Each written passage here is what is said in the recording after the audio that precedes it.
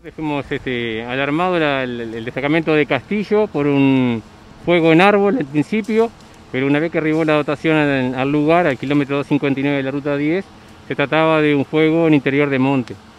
Eh, se pidió apoyo, concurrió una dotación de, del destacamento de La Paloma con bomberos afrales.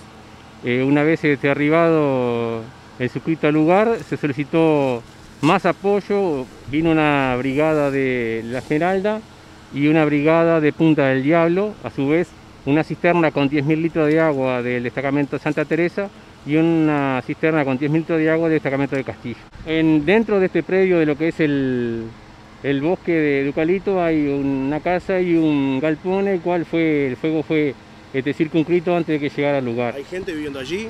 No, es, este, son galpones de, de propios del establecimiento, ¿verdad?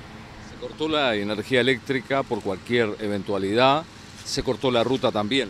Exacto, se, se pidió, se solicitó la colaboración de policía caminera, ya que cuando una vez que al, al lugar, este, era imposible transitar por el denso humo que había en la ruta y podía haber riesgo tanto para los efectivos como para los autos que intentaban cruzar la ruta.